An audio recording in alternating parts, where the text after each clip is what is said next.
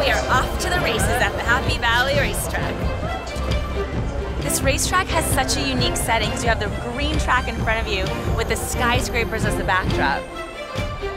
It's about to start. I placed my bet and I'm hoping to win some money. Come on, come on,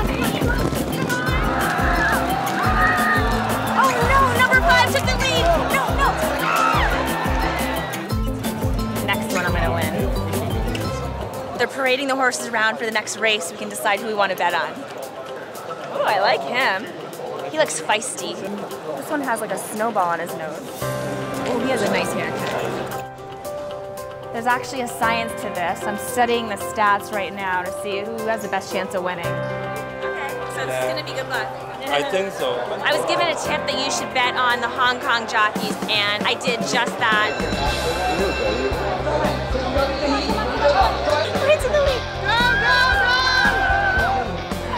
Won, I won, number 11. Yeah.